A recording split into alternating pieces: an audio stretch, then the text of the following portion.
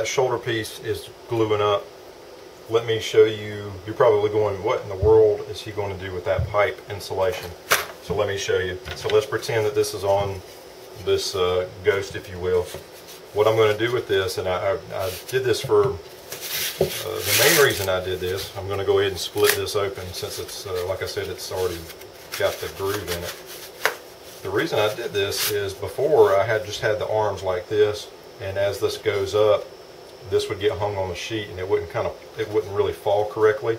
Now one thing that you could probably do is just simply round this, this corner over, probably both of them, just go ahead and cut a circle on the end of it. That would help a little bit.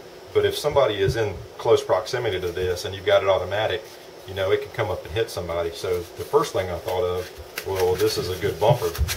Um, so now if they get hit, it's it, this doesn't weigh a lot anyway.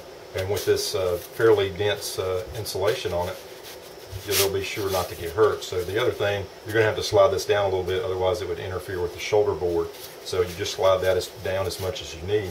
Whatever's hanging over the end, you can simply take a staple gun and, and just nail that or, or uh, hook that down. You could even drill a hole here and use a tie wrap to hold that down.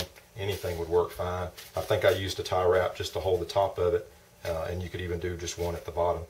So that's just a good way to add depth to the ghost for one thing. So when the arm comes up, it's not this sharp angle. It's got, uh, looks like there's some meat on the bone there. And it's also a way to keep uh, little ones safe if they happen to be in the way when the arms come up. So that's that. So I would do that with both arms. Now, let me go ahead and talk about the head. Uh, I've done some flying ghosts before where they're just kind of riding on a string and it's basically a ball with a sheet on it and it just you know it, it it's going the track uh, you know wherever the string goes the ghost goes. And that that's good for a laugh uh, the kids have fun with it. Um, now I, I, saw in a craft store recently a 8 inch styrofoam ball and they wanted five dollars for that. And I'm like you've got to be crazy. So again I told you this whole piece of probably six foot uh, five or six foot pipe insulation was 97 cents so what I have done in the past is let's let's say this is the head of the ghost, is you can just if you want to you know give it some body, you could cross it over like that and just shoot a screw right there, and then that gives the ghost a nice you know a nice profile to put the sheet on it. Um, and you could double this over as much as you need to to get the density that you need so that the sheet or whatever you have on it doesn't crush it. So that's a very inexpensive way to do it. You could use a coat hanger wire uh, and, and put, you know, build a, a, frame of a skull. You could throw an old kid's hard hat or something cheap under there. Anything, anything to make it work. If you can get the styrofoam balls, they're by far the easiest. You just put a point on this guy, just slam it on top, and you're done. But uh, so that's just one idea. So um, be sure to protect these to make sure that if somebody's in the way, they don't actually uh, take a little bit of damage. All right, so here's the shoulders. Uh, these are just padding blocks right here to keep from messing up the wood. But I've got these in there to uh, help with the alignment. And it's, the glue's drying. And when that, that's done, I can just bolt it straight onto the body and we'll be good.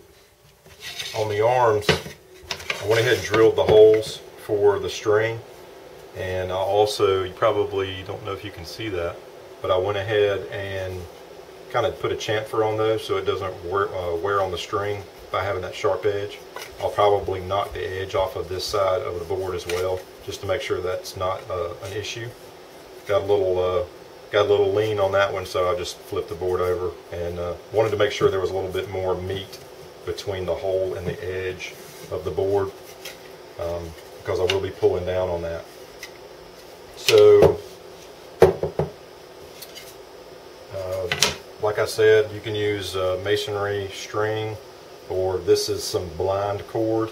And this stuff is just really, really fine weave and very strong. And I just like working with it. So I'll probably just tie a single knot in that, do the same for the other side. And then probably for the, in the middle of the string that would, that'll hang down, I just tied a loop in it right there. So this will go to one arm, this will go to the other.